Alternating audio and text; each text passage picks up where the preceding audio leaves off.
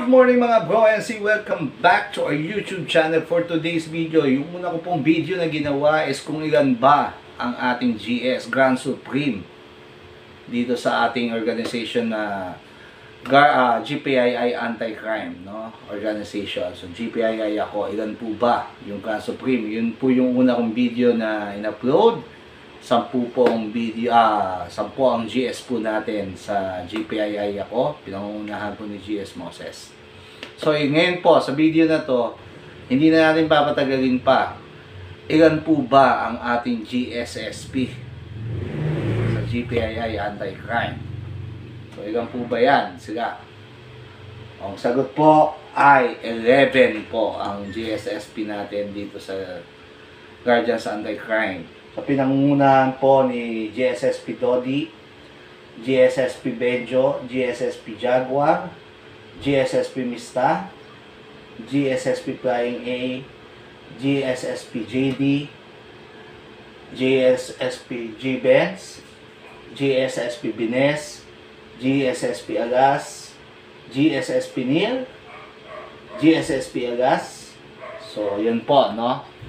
11 po ang ating ah, GSSP dito sa ah, Guardians Anti-Crime Organization. So, ano po ba ang meaning ng GSSP? Grand Senior Supreme Prime. So, yun po, meaning po ng GSSP. Ulitin ko, Grand Senior Supreme Prime. So, mga hindi pa nakakaalam, mga bro and see, panuorin nyo po dapat itong video na to. Sa mga officers natin, pa-share po ng video na to. Para alam din po nila kung ano yung mga meaning ng rank ng mga higher positions. So, ulitin ko po, ang ele- 11 po ang ating GSSP sa GPII Anti-Crime. So, pinangungunahan po siya. In any order naman po ito, eh, no?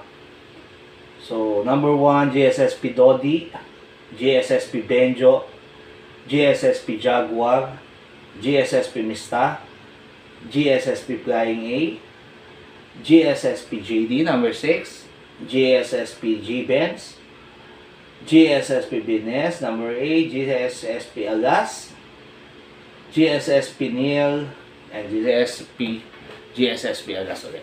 So, dalawang GSSP Agas. So, 11 po ang ating ah, Grand Senior Supreme Prime sa GPII ako.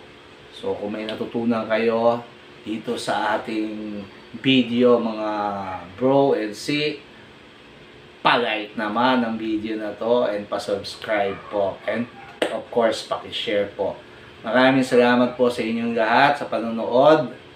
Ah, salamat sa patuloy niyong pagsubaybay sa ating YouTube channel. Magandang umaga po sa inyong lahat. God bless po.